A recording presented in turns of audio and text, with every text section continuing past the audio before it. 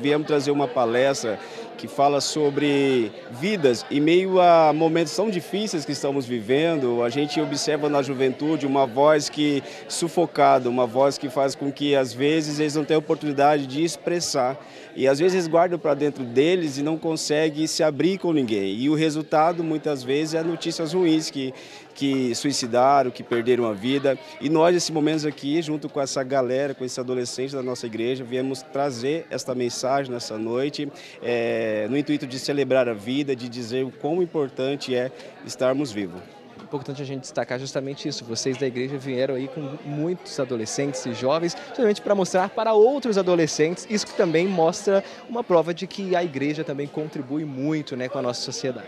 Exato, isso aí. Eu vejo que no meio da juventude não pode se perder. A juventude é a melhor fase que existe, é a juventude.